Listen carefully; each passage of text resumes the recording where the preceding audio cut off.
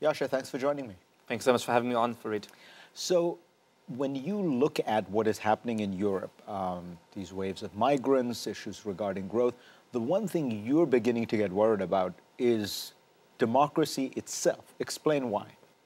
Yeah, so I think there's this theory that people have that democracy is remarkably stable. So when you look at the history of democracy, there's never been an incident when a country that both has been a democracy for a number of years and has a relatively high standard of living, so GDP per capita of about $15,000 per year, um, uh, has collapsed.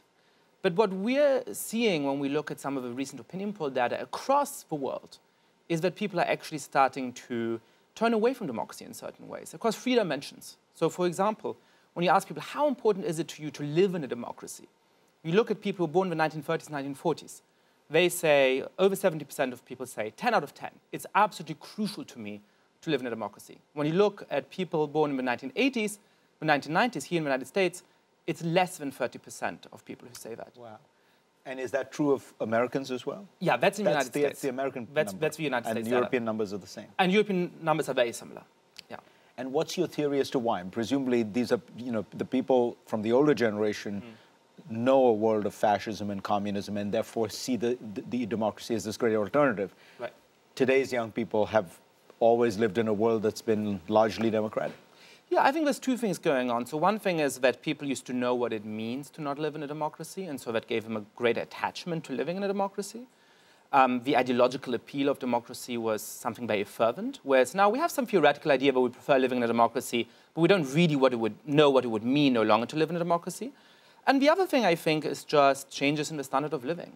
For the first time in US history, the Census Bureau reports that standard of living for average citizens has stagnated for 25, 30 years. And that changes people's perspective. Suddenly they're saying, whoa, perhaps the establishment is out for themselves. Perhaps they're not actually helping me out. Perhaps my life is not better than my parents' was, and my children's life is going to be even worse. And that makes them very restless and very disenchanted. So, but being disenchanted and restless, does that translate into being against democracy? Because I think of the United States, you see this mm. frustration, and it typically takes the form that people in Washington don't understand. People right. don't, you know, get, and you see this in Europe where it's usually Brussels, the European Union, which is, but are, are, you, are you taking too big a leap to say that that therefore is a vote against democracy? Well, I think it's two things at the same time. So one is that, again, the data shows very, very clearly that people are getting more open to authoritarian alternatives.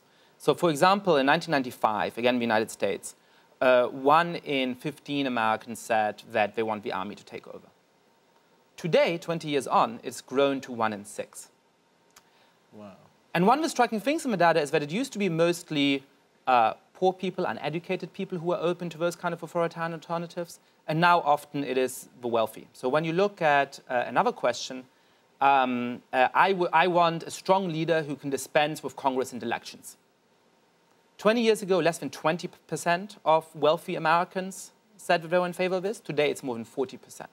So there's a growing minority of people who are actually open to authoritarian rule. And then I think there's a majority that does want to live in a democracy, that does not want the military to take over, that does not want a strong leader who doesn't have to worry about Congress, but that's getting disenchanted with democracy, that's fallen out of love with democracy. And those two things put together are quite concerning to me. I have to ask you, do you think Trump is a reflection of that, uh, that desire I, I, want a strong leader who can dispense with, uh, with, with institutions? Absolutely, and as a strong leader, not as military leader, but as CEO, right? I think now we're at a stage where people don't trust anybody anymore. And so what they say is, if you come onto the scene and you say, I'm the, the honest politician, by definition, I'm not going to trust you. And Trump doesn't say that, actually. He says, look, I paid for Hillary Clinton to come to my wedding, right? So he's sort of admitting that he's playing a corrupt game, and so at least he's authentic. At least the people are saying, look, nobody is really honest, but at least Trump has the authenticity to call that out, to not pretend that he's the one who's above the system. And that, I think, is a real sign of how, how disenchanted people have become, how cynical they've become. And, and Trump and Carson, of course, the two frontrunners who together in many of the polls uh, are at 50 over 50 percent, right. are both non-politician outsiders. Yeah, exactly. And who are generally quite authentic. Right. So what is the danger here?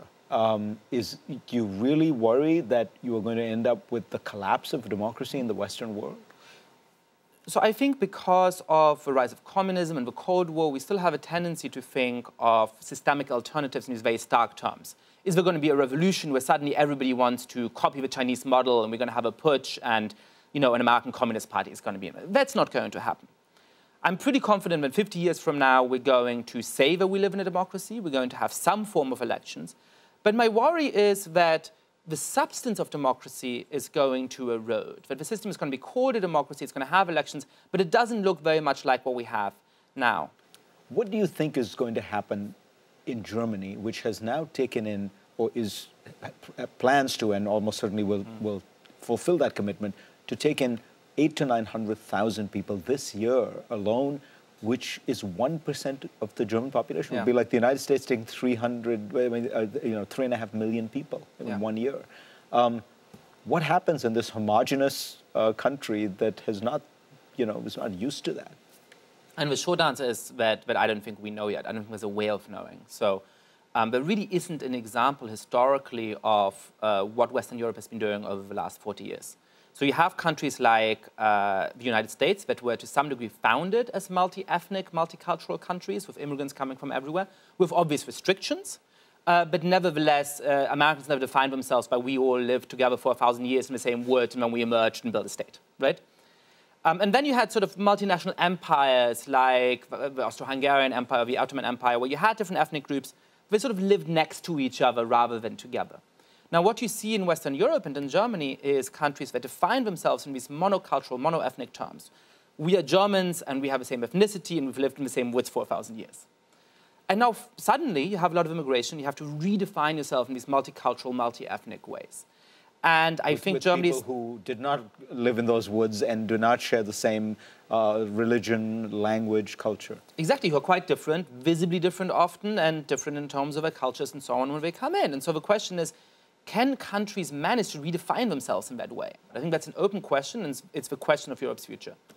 Fascinating discussion. Thank you so much. Thank you very much, Fareed.